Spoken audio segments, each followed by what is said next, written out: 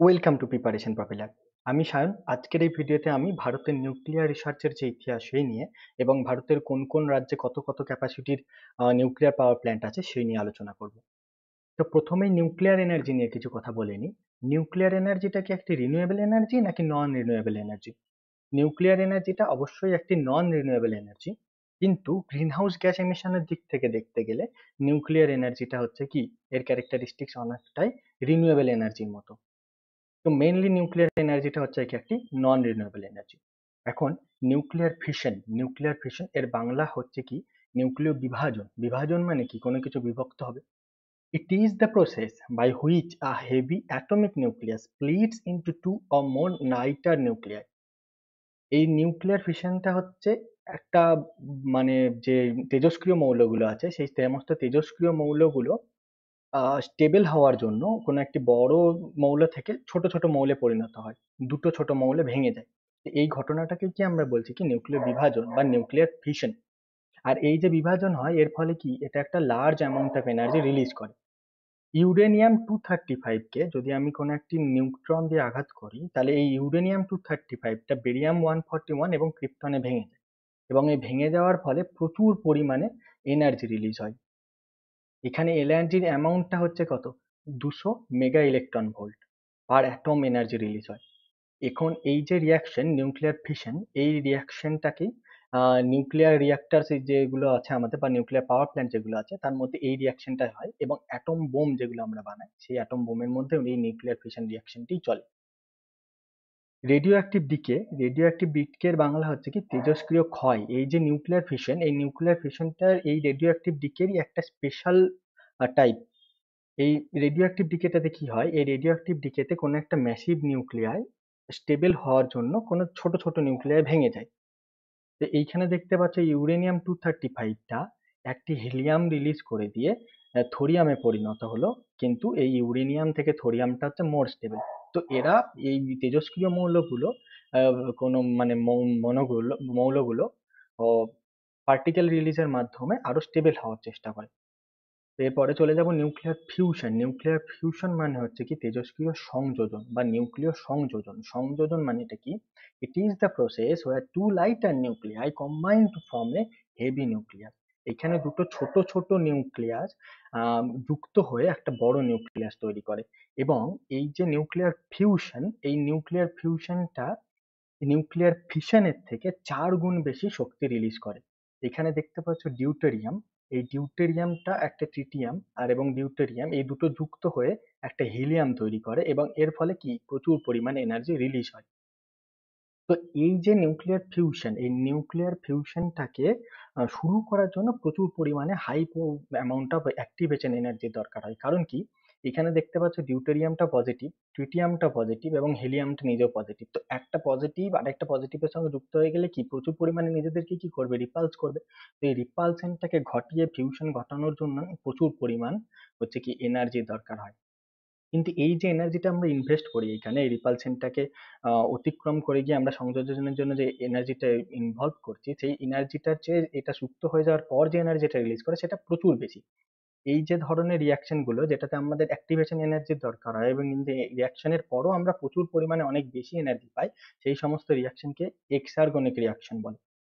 এবং এই যে নিউক্লিয়ার ফিউশনটা দেখছ, সূর্যের যে শক্তির উৎস, সেটা হচ্ছে এই নিউক্লিয়ার ফিউশন সেখানে এই সূর্যের ক্ষেত্রে কি, এই যে অ্যাক্টিভেশন এনার্জিটা কোথায় থেকে আসে? এনর্মাস প্রেশার মানে খুব অত্যধিক চাপ এবং হচ্ছে কি গ্র্যাভিটি মাধ্যাকর্ষণ শক্তি এই দুটো মিলে গিয়ে তখন হচ্ছে কি সূর্যের মধ্যে অ্যাক্টিভেশন এনার্জি হিসেবে কাজ করে। এবং হাইড্রোজেন বোম যেটা আমরা বানাই, এই হাইড্রোজেন বোমের কনসেপ্টটা হচ্ছে কি নিউক্লিয়ার ফিশন থেকে। এবং এই হাইড্রোজেন বোমটাকে তৈরি করার জন্য একটা ফিশন বোম আগে ফাটানো হয়, তারপরে কি নিউক্লিয়ার ফিউশন রিয়াকশনটা শুরু হয়। এবং এখন ভারতের আমরা এই যে নিউক্লিয়ার রিসার্চের হিস্টোরিক্যাল ব্যাকগ্রাউন্ড নিয়ে কিছু জেনে নিই। ভারতের এই যে নিউক্লিয়ার রিসার্চের যে ফাদার অফ নিউক্লিয়ার রিসার্চ ভারতের ক্ষেত্রে বলা হয়, তিনি হচ্ছেন কি? ডক্টর হোমি জাহাঙ্গীর বাবা। এবং nuclear research in India started with establishment of Tata Institute of Fundamental Research in nineteen forty five Tata Institute of Fundamental Research TIFR এ উনিশশো পঁয়তাল্লিশ সালে প্রথম হচ্ছে কি? নিউক্লিয়ার রিসার্চ নিয়ে নিউক্লিয়ার রিসার্চ নিয়ে আলোচনা করা হয়। এখন এই যে নিউক্লিয়ার রিসার্চ এর যার আন্ডারে এটা কাজ করে সেটা হচ্ছে কি natural resource and scientific research under the ministry of national resource and scientific রিসার্চের আন্ডারে অ্যাটমিক এনার্জি কমিশন আছে, যেটা এস্টাবলিশ হয়েছিল কত, উনিশশো আটচল্লিশ সালে। এর under department of atomic energy আছে। সে হচ্ছে কি, এই সমস্ত কিছু ভারতের যে নিউক্লিয়ার পাওয়ার প্ল্যান্ট আছে, এই সব নিয়ে দেখাশোনা করে এই department of atomic energy the atomic energy commission is solely responsible for managing under managing the nuclear power plants in India এই যে অ্যাটমিক এনার্জি কমিশন আছে, এই অ্যাটমিক এনার্জি কমিশনটা হলো একটি স্ট্যাচুটরি বডি এবং এটা কাজ করে atomic energy act nineteen forty এইটের আন্ডারে এখন নিউক্লিয়ার রিঅ্যাক্টর নিয়ে আমরা কিছু জেনে নেব। তার আগে এইখানে নিউক্লিয়ার রিঅ্যাক্টরের ইয়েটা জানার জন্য এইখানে যে দেখতে পাচ্ছ ফিসাইল মেটেরিয়াল এবং ফার্টাইল মেটেরিয়াল এই দুটোর মধ্যে আমি পার্থক্যটা একটু বলে নিই। তো ফিসাইল মেটেরিয়াল ফিসাইল মেটেরিয়ালের এক্সাম্পল হচ্ছে কি ইউরেনিয়াম টু থার্টি ফাইভ এই ফিসাইল মেটেরিয়াল তাদেরকে বলে, যাদেরকে অ্যাক্টিভেট করার জন্য খুব কম মানে low amount of kinetic energy দরকার হয়। কিন্তু ফার্টাইল মেটেরিয়ালটা হচ্ছে সেই সমস্ত জিনিস, যাদেরকে হচ্ছে কি first enormous amount of neutron লাগে মানে ফার্স্ট নিউট্রন দিয়ে আঘাত করতে হয় ফার্টাইল মেটেরিয়ালের ক্ষেত্রে। তবেই তারা গিয়ে ফিসাইল মেটেরিয়ালে পরিণত হয়। এবং এই ফিসাইল মেটেরিয়ালগুলোকে লো কাইনেটিক এনার্জি নিউট্রন দিয়ে অ্যাটাক করলে এইগুলো পরে ভেঙে গিয়ে রিয়াকশন শুরু হয়। এবং আমাদের যে ন্যাচারালি অকারিং দুটো ফার্টাইল মেটেরিয়াল হচ্ছে কি থোরিয়াম টু থার্টি টু এবং ইউরেনিয়াম টু থার্টি এইট এখন এই নিউক্লিয়ার রিঅ্যাক্টরে কেন তাহলে ফিসাইল মেটেরিয়াল ইউজ করা হয় বুঝতে পারছ? কারণ নিউক্লিয়ার ফিসাইল মেটেরিয়ালের ক্ষেত্রে আমাদের যে নিউট্রনটা লাগবে ওটাতে low amount of kinetic energy লাগবে। সেই জন্য আমরা কি এখানে ফিসাইল মেটেরিয়াল ইউজ করি ফার্টাইল মেটেরিয়াল নয়। এই ফিসাইল মেটেরিয়ালের ক্ষেত্রে আমরা কি কি ইউজ করি? Uranium two thirty five plutonium two nine thirty nine এই সমস্ত কিছু ইউজ করি। আর একটা কথা ফিসাইল মেটেরিয়ালের সবসময় এই যে ভর সংখ্যা, এটা সবসময় হচ্ছে কি? একটা অড সংখ্যা হবে বা বিজোড় সংখ্যা হবে। কিন্তু ফার্টাইল মেটেরিয়ালের ক্ষেত্রে এটা সমস্ত একটা কি? জোড় সংখ্যা হবে। যেমন কি বললাম ফার্টাইল মেটেরিয়ালের এক্সাম্পল ফার্টাইল মেটেরিয়াল এক্সাম্পল হচ্ছে কি? থোরিয়াম টু থার্টি টু এবং ইউরেনিয়াম টু থার্টি এইট দুটোই জোড় সংখ্যা। এখন মডারেটর মডারেটর হচ্ছে এমন একটা জিনিস যেটা হচ্ছে কি, এই যে নিউট্রন দিয়ে আমি আঘাত করছি না, এবং এই আঘাতের ফলে যে নিউট্রন দিচ্ছি, তার জন্য হচ্ছে ইউরেনিয়ামটা ভেঙে গিয়ে high amount of energy release করছে। তো এইখানে এনার্জি রিলিজ কিসের মাধ্যমে? নিউট্রনের মাধ্যমে। তো ওই যে নিউট্রনগুলো বিক্রিয়ার পরে যেটা নিউট্রন বেরোবে, সেই নিউট্রন গুলোকে কি?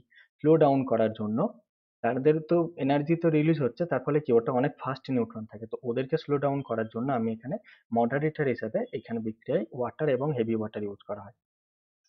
কুলেন্ট মানে বুঝতেই পারছ। কুলেন্ট মানে হচ্ছে যেটা হচ্ছে কি, এই যে রিয়াকশনটা ঘটছে, তার ফলে তো প্রচুর এনার্জি রিলিজ হবে। এই এনার্জিটাকে তাদের যে উত্তপ্ত হবে, তাকে ঠান্ডা করার জন্য কুলেন্ট ইউজ করা হয়। সেটাকে কি, জলকে ইউজ করা হয়। এখানে কন্ট্রোলার ইউজ করা হয়। এবার এখানে কন্ট্রোলার আর মডারেটরের মধ্যে পার্থক্যটা বলে নিই কন্ট্রোলার হচ্ছে এমন একটা জিনিস, যেটা হচ্ছে কি বিক্রিয়া। থামানোর জন্য ব্যবহার করা হয়। কিন্তু মডারেটর হচ্ছে এমন একটা জিনিস যেখানে বিক্রিয়া নিউট্রনের স্পিডটাকে স্লো ডাউন করতে সাহায্য করে। কিন্তু কন্ট্রোলার একদম নিউট্রনকে অ্যাবজর্ব করে নেয় এবং বিক্রিয়া বন্ধ করতে সাহায্য করে। তো কন্ট্রোলার হিসেবে আমরা ইউজ করি ক্যাডমিয়াম অথবা বোরন এখন কন্টেইনমেন্টটা হচ্ছে এই যে কেসটা দেখতে পাচ্ছ, এটা হচ্ছে কন্টেইনমেন্ট স্ট্রাকচার যেটার আন্ডারে সমস্ত কিছু রিয়াকশনটা ঘটে এবং এটা একটা যেহেতু বিক্রিয়া ঘটছে এবং তেজস্ক্রিয় মৌল সেই জন্য একটা ভালো স্টিলের ফ্রেমে করা হয়, যেটা হচ্ছে কোনো রকম যাতে কোনো ক্ষতি, ক্ষয়ক্ষতি না হয়। এখন টাইপস অফ নিউক্লিয়ার রিঅ্যাক্টরস নিয়ে আলোচনা করব মেইনলি চার ধরনের নিউক্লিয়ার রিঅ্যাক্টর আছে boiling water reactor pressurised water reactor pressurised heavy water reactor fast breeder reactor এই সমস্ত কিছুতেই মোটামুটি এনরিচড ইউরেনিয়ামকে ফিউল হিসেবে ইউজ করা হয়।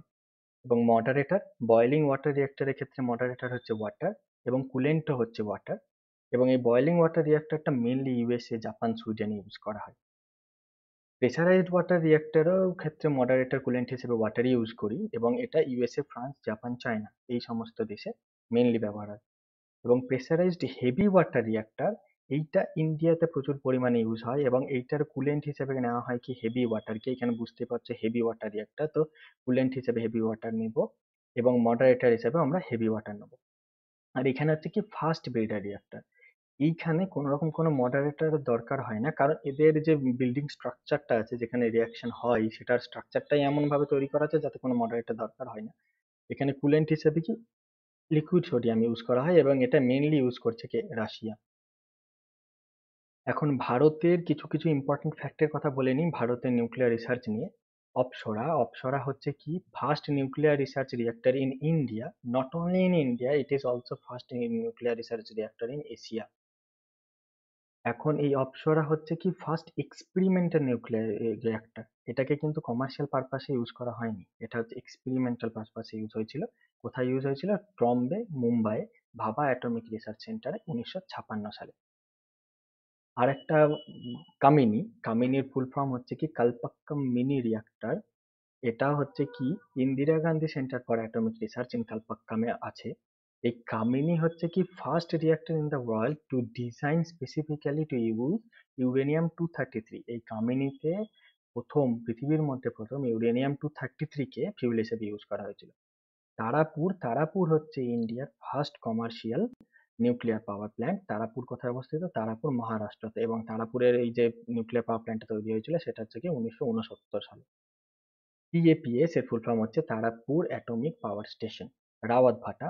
Rawatbhata হচ্ছে কি ইন্ডিয়ার ফার্স্ট হেভি ওয়াটার ইন্ডিয়ার first pressurized heavy water reactor PHWR এটা রাওয়াত ভাটা রাজস্থানে অবস্থিত। এখানে হেভি ওয়াটার মানে হচ্ছে কি ডিটিও কে কুলেন্ট হিসেবে কি মডারেটর এবং কুলেন্ট হিসেবে ইউজ করা হয়।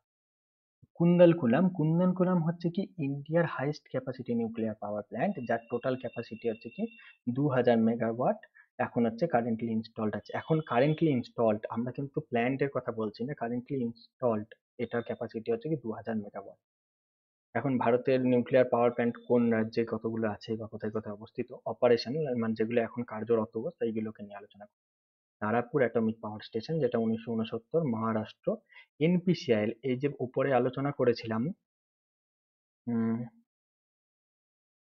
এখানে যে অ্যাটমিক এনার্জি কমিশনের আন্ডারে ডিপার্টমেন্ট অফ অ্যাটমিক এনার্জি কাজ করে। এর নিচে এনপিসিআইএল এর এনপিসিআইএল কাজ করে, যার ফুল ফর্ম হচ্ছে কি nuclear power corporation of India limited তো এই এই তারাপুরের ক্যাপাসিটি হচ্ছে কি চোদ্দশো মেগাওয়াট এবং রাওয়াত ভাটা অ্যাটমিক পাওয়ার স্টেশন যেটা রাজস্থানে অবস্থিত, এটার ক্যাপাসিটি হচ্ছে এক হাজার একশো আশি মেগাওয়াট কালপাক্কাম যেটা হচ্ছে তামিলনাড়ুতে অবস্থিত, এর ক্যাপাসিটি হচ্ছে চারশো চল্লিশ মেগাওয়াট নাওড়া উত্তরপ্রদেশ এটার ক্যাপাসিটি হচ্ছে চারশো চল্লিশ মেগাওয়াট কাকরাপাড় এটার অবস্থিত হচ্ছে গুজরাটে, যার ক্যাপাসিটি হচ্ছে চারশো চল্লিশ megawatt Kaiga nuclear power plant যেটা অবস্থিত হচ্ছে কর্ণাটকে যার ক্যাপাসিটি হচ্ছে আটশো আশি মেগাওয়াট এবং কুন্দলকুলাম, যেটা আগে বললাম, তামিলনাড়ুতে অবস্থিত কুন্দলকুলাম নিউক্লিয়ার পাওয়ার প্ল্যান্ট যেটা দু হাজার তেরোতে তৈরি হচ্ছে যা এখন অব্দি অপারেশনাল কার্যরত নিউক্লিয়ার পাওয়ার প্ল্যান্টগুলির মধ্যে ম্যাক্সিমাম ক্যাপাসিটি আছে যার দু হাজার মেগাওয়াট এইখানের এই নামগুলোর কথা বলে নিই, যেগুলো অপারেশনাল আছে। এখানে মনে রাখার কোনো ট্রিক্স বা মেমোরি ট্রিক্সের কথা আমি বলব না এই কারণে। এগুলো তোমাদের সমস্ত কিছুগুলোকে এমনিতে মনে রাখা দরকার, কারণ আছেই সাতটা তো এটা তোমাদের এমনিতে মনে রাখা দরকার। এখন nuclear power plant in India plant for the future projects future project যেগুলো কাজ হচ্ছে বা হবে, যেগুলো প্ল্যান্ট সেগুলো নিয়ে এখন বলে নিই। গোরখপুর গোরখপুর হচ্ছে কি? হরিয়ানার, যেটার ক্যাপাসিটি হবে কত? দু হাজার আটশো ক্যাপাসিটি মাহি বাঁশওয়ারা যেটা হচ্ছে কোথায়? রাজস্থানে। চুটকা মধ্যপ্রদেশে। মিঠি বার্দি অথবা ভারতী, যেটা হচ্ছে গুজরাটে।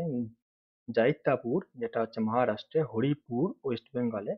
কুভাদা অন্ধ্রপ্রদেশে। এবং ভীমপুর, মধ্যপ্রদেশে। এগুলো এখনই ইনস্টল হবে। এগুলোর ক্যাপাসিটি এত এত হবে। সেই হিসাব মতো দেখতে গেলে এই যে জৈতাপুর আছে মহারাষ্ট্রে, সেটার ক্যাপাসিটি তখন, যেটা তখন যখন অপারেশনাল হবে এটা, তখন এটা ম্যাক্সিমাম এনার্জি রিলিজ করবে মানে নিউক্লিয়ার এনার্জি এই পেজে আমরা যেখানে যতগুলো ক্যাপাসিটি আছে, এইখানে ফটোর মাধ্যমে আলোচনা করেছি এখানে দেখতেই পাচ্ছ যেগুলো হচ্ছে নীল রঙের করা আছে, সেগুলো হচ্ছে সমস্তগুলো হচ্ছে কি প্রপোজড প্রজেক্ট যেগুলো হচ্ছে নীল রং করা আছে, এখানে হালকা নীল, সেগুলো হচ্ছে কি আন্ডার অপারেশন আছে। এবং অনগোয়িং প্রজেক্ট মানে এখন কাজ চলছে ওগুলোর উপরে, সেগুলো হচ্ছে এই গোলাপিগুলো। তো এই ম্যাপের মধ্যে আমরা সেই সমস্ত পয়েন্টগুলোকে করে নিয়েছি। যেমন এখানে দেখতে পাচ্ছ ওয়েস্ট বেঙ্গলে হরিপুর, অন্ধ্রপ্রদেশে কোভাডা আলপাক্কাম তামিলনাড়ু কুন্দনকুলাম তামিলনাড়ু, গাইগা কর্ণাটকা জয়িতাপুর মহারাষ্ট্র, তারাপুর মহারাষ্ট্র মিঠিবর্ধি গুজরাট, তারপরে রাওয়াতভাটা রাজস্থান কাকরাপাড় গুজরাট এবং হরিয়ানার হচ্ছে কি গোরখপুর এবং নাওড়া উত্তরপ্রদেশ। এগুলো সব এখানে তার ক্যাপাসিটি নিয়ে লেখা আছে। তো এই নিয়েই আজকের ভিডিওটি ছিল এবং কিছু কিছু নিউক্লিয়ার ডিজাস্টার এখন অব্দি পৃথিবীতে যে সমস্ত নিউক্লিয়ার ডিজাস্টার ঘটেছে মানে এই যে নিউক্লিয়ার এনার্জি নিয়ে কাজ করতে গিয়ে অনেক বড় ক্ষয়ক্ষতি হয়ে গেছে, এগুলো দুটো এক্সাম্পল আমি বলে দিচ্ছি। একটা হচ্ছে কি চার্নোবিল, যেটা তৎকালীন ইউএসএসআর এর আন্ডারে ছিল, এখন যেটা ইউক্রেনে অবস্থিত, যেটা আঠারোশো পঁচাশিতে, যে আঠারোশো ছিয়াশিতে যে দুর্ঘটনাটা ঘটেছিল। চারনোবিলে ইউএসএসআর এ এবং আরেকটি দুর্ঘটনা ঘটেছিল জাপানের ফুকুশিমায়। তো তোমাদের জন্য একটি কোশ্চেন রইল, এই যে জাপানের ফুকুশিমায় দুর্ঘটনাটি ঘটেছিল, সেটি কত সালে ঘটেছিল? এই প্রশ্নটির উত্তর যদি তোমাদের জানা থাকে, তাহলে অবশ্যই কমেন্টে জানিও। এবং এই ভিডিওটি যদি ভালো লেগে থাকে, তাহলে অবশ্যই লাইক শেয়ার এবং সাবস্ক্রাইব করে দিও। এবং তোমাদের যদি ভালো লাগে বা এরকম কোনো কন্টেন্টের দরকার হয় বা পিডিএফ এর দরকার হয় পড়াশোনার জন্য, তাহলে তোমরা আমাদের পছন্দ হলে টেলিগ্রাম চ্যানেলে যুক্ত হতে পারো, যার লিংক ডিসক্রিপশন বক্সে দেওয়া আছে। সকলকে অসংখ্য ধন্যবাদ এই ভিডিওটি দেখার জন্য।